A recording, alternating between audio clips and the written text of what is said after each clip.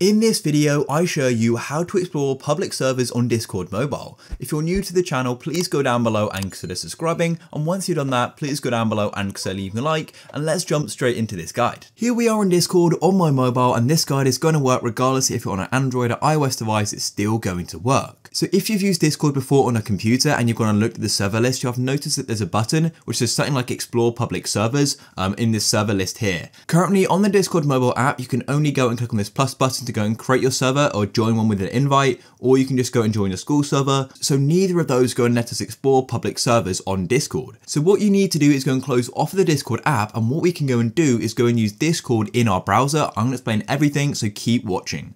So what you need to do is firstly go to the Discord website, which is discord.com. So go and tap on the URL bar just like so, and then go and type in discord.com just like this, and then go and tap go then it will take a moment to load and here we are on the Discord website. Then once you're on the Discord website, you then need to come back to the URL bar just like so. And what you need to do is go and keep discord.com, but add slash login just like so. So type it in just like that and then go and tap go. Then you'll be taken to the Discord login page, so you need to go and log into your account. And it is important to note this is primarily made for computers, so if it's glitchy or anything like that, then that is why. But it may be worth requesting a desktop version of the website to do that on Android, just go and tap on the three dots somewhere in your browser, and on an iPhone, go and tap on the two A's, and then you can tap request desktop site. I'm not going to though. And now let's go and log in. Then once you're ready, go and tap login, just like so, and it's gonna take a moment to load, and here we are. And now we're on Discord. So what you need to do is go and tap on the three uh, lines in the top right of Discord, just like so. And as you can see, we've gone and got this compass logo in our list of servers,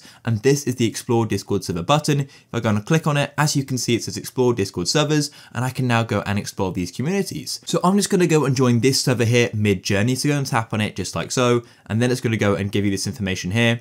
Then what you need to do is go to the bottom and go and tap on join server just like this. And you may have to go and complete a verification. And then it'll go and say you're now a member of the server. I'll come back to my Discord app. And as you can see, it's then gone and appeared in the server list. I can go and check the server out and go and get involved with it. And you can go and do this for other servers as well. So if you found this guide useful, please go down below and consider leaving a like. Peace.